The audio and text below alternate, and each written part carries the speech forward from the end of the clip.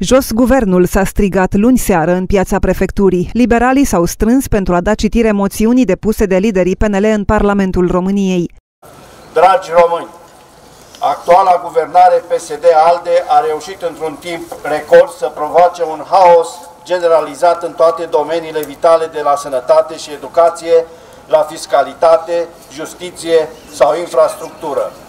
În mai puțin de un an, guvernarea PSD-ALDE a aruncat la coșul de gunoi promisiunile făcute în campanie și, odată cu ele, speranțele românilor într-un trai mai bun.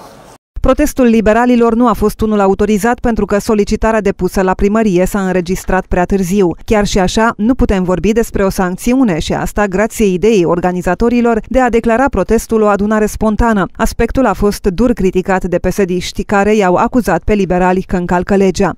Această moțiune de cenzură nu uh, reprezintă mm, nimic nici măcar pentru membrii de partid, membrii Partidului Național Liberal, pentru că dacă este să ne raportăm la, haideți să-l zicem, uh, evenimentul care s-a încercat a se crea seară în municipiul Târgu Jiu, nu vedem decât uh, un eveniment uh, anemic, un eveniment lipsit de culoare, un eveniment care nu a reușit să adune nici măcar proprii membri de partid. Să nu mai punem în evidență faptul că acest eveniment nu a avut un cadru legal. Știți foarte bine că a fost uh, mediatizat pe uh, toate rețelele de socializare, pe uh, toate canalele media, ca apoi să aflăm că de fapt nu este un protest, ci este doar un eveniment ad hoc, o întâlnire ad hoc Totodată, socialdemocrații vorbesc despre o acțiune anti-PSD pusă la cale de liderii PNL de la centru. Mai multe manifeste au fost deja împărțite prin scările de bloc din municipiul Motru.